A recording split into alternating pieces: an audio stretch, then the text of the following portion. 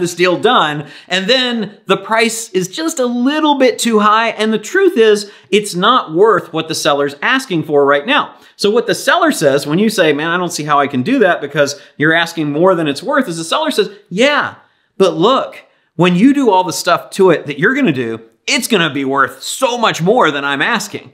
And that is a big trap that a lot of people fall into. Don't you do it. That only happens in. Don't you ever pay more than the current fair market value, present value today for a deal.